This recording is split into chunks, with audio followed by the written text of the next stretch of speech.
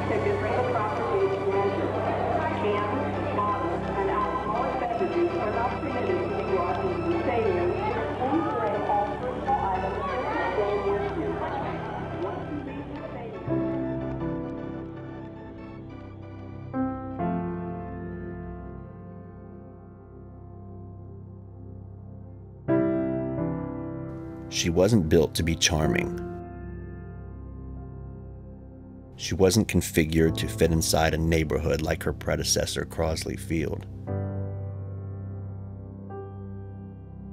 Riverfront Stadium was designed to function.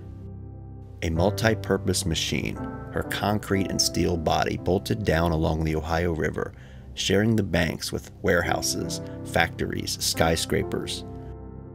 She had a job to do, and she did it well.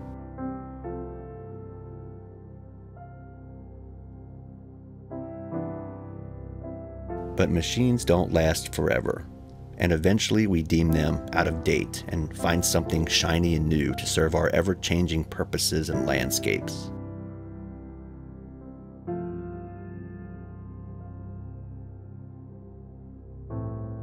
After 32 years, after 2,576 games, and after 64,650,533 fans walked through her turnstiles, the time had come to say goodbye. Baseball. Been in my life for 58 years now. But these past 30 years right here have been the greatest of my career. And when this place is knocked down December the 29th, those memories will not leave this area. They'll always be here.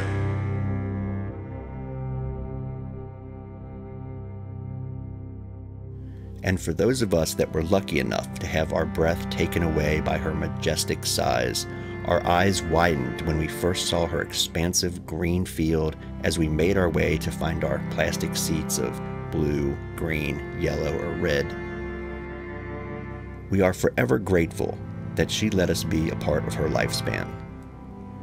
We may not remember the final scores or whether the Reds won or lost, but we remember the scoreboard's glow we can smell the damp concrete and sports service treats. We can feel the rumble in our chest as we clapped our hands and stomped our feet.